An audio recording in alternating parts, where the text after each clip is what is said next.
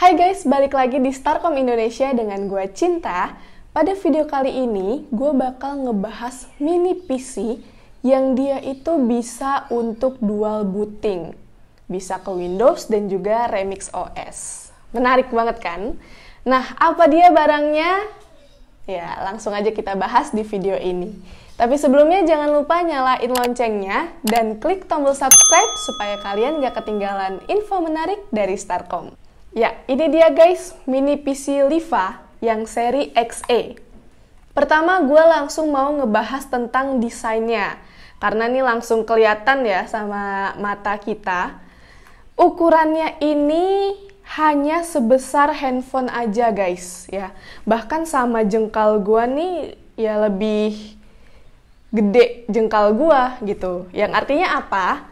Artinya dia ini sangat mungil dan menguntungkan kita untuk uh, bekerja di ruang kerja yang tidak terlalu luas gitu ya.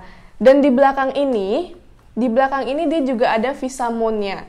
Jadi lebih menguntungkan kita juga dalam setup PC kita jadi lebih ringkes. Oke, terus di bagian belakang sini ada port DC in untuk power terus juga ada HDMI, terus juga ada adapter LAN, terus juga ada AUX, dan terakhir ada VGA. Dan di bagian depan sini ada tombol power sama tiga USB hub ya, USB port yang 3.0. Dan yang warna kuning ini dia adalah bisa untuk ngecas gitu. Jadi kita bisa ngecas HP lewat sini. Karena ada port HDMI dan juga VGA, jadi kita bisa pakai dual monitor nih guys. Dan menurut gue ini merupakan salah satu keuntungan ya, karena bisa mempengaruhi produktivitas kita yang semakin meningkat. Dan juga kerennya lagi, dia ini memiliki fitur Bluetooth dan juga udah ada WiFi IC.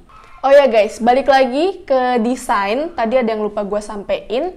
Kalau dia ini didesain tanpa fan, jadi nggak berisik guys. Tapi sayangnya kalau kita e, memakai dalam waktu yang cukup lama, suhunya dia ini meningkat. Dan dia ini memakai prosesor Intel Celeron 3050 yang berarti ya lumayan irit daya. Oke, sekarang kita beralih ke storage-nya. Dan mini PC ini memakai storage 32 GB.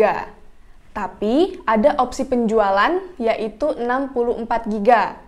Dan kalau kamu masih merasa kurang, kamu bisa langsung upgrade aja storage-nya pakai SSD M.2 SATA. Ngomongin soal performanya nih guys, mini PC ini dirancang buat ngetik, buat bikin presentasi, buat kerja kantoran, ngolah data, browsing-browsing ringan, dan juga nonton video. Oke, seperti yang udah gue singgung di awal, kalau mini PC ini bisa untuk dual booting.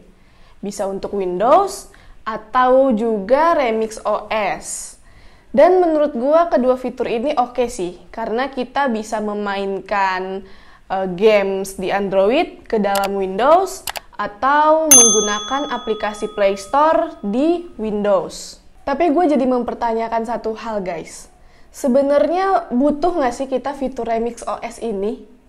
Karena kan sekarang udah ada emulator ya untuk memainkan games Android di PC. Dan sebenarnya juga spesifikasi dari mini PC ini, dari Liva ini, nggak rekomendasi buat gaming menurut gue. Tapi di sisi lain, Liva ini bisa menjadi salah satu opsi terbaik kamu buat kamu yang butuh PC untuk kebutuhan ngetik, bikin presentasi, terus juga browsing-browsing ringan, ataupun PC kasir. Oke guys, segitu dulu aja review singkat tentang mini PC Liva yang seri XE ini. Buat kalian yang tertarik, gue bakal naro link pembeliannya di deskripsi. Oke guys, segitu aja. Gue cinta dan sampai jumpa.